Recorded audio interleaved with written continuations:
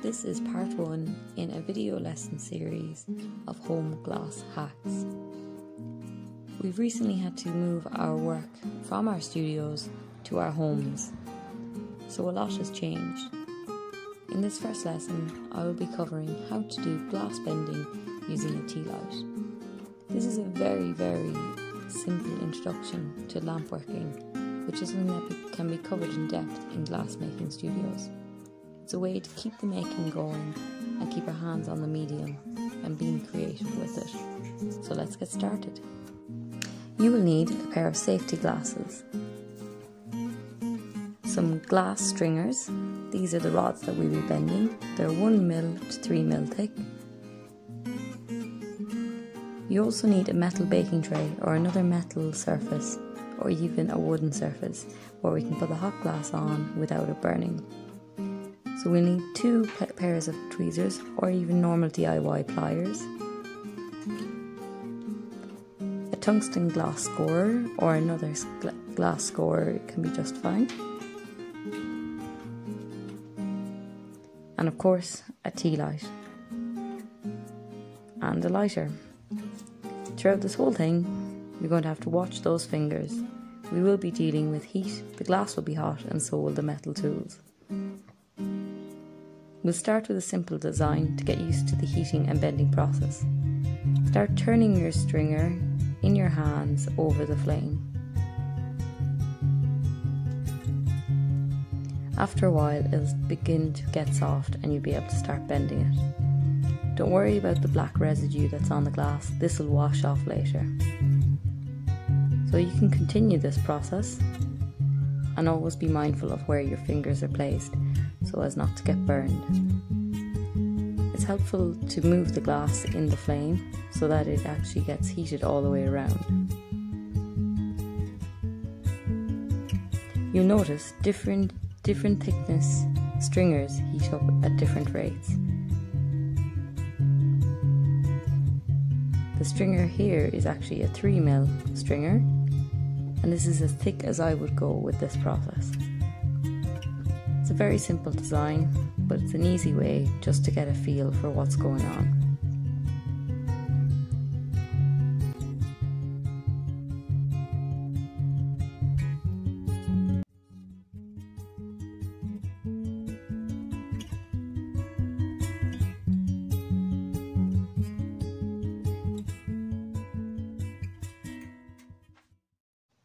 I'm now going to show you how to make some glass chain.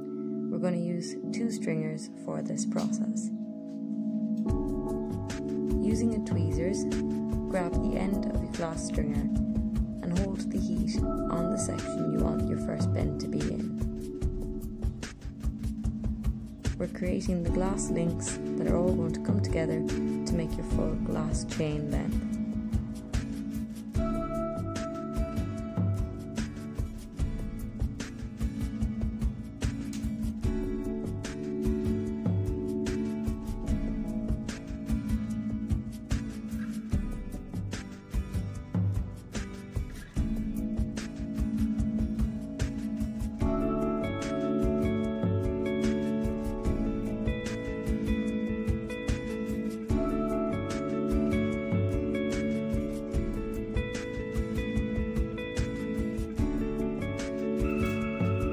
Once you have the three corners done on your second link, you can go back now and score and snap the first link.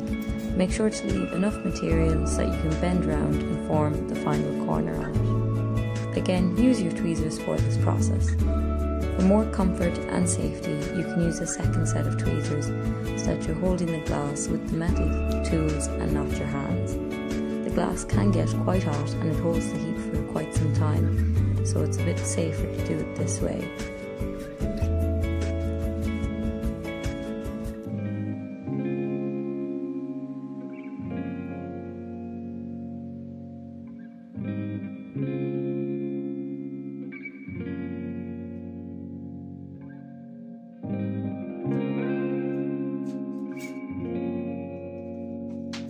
You're going to now join the two links Snap the second one off, leaving enough material to do the final bend.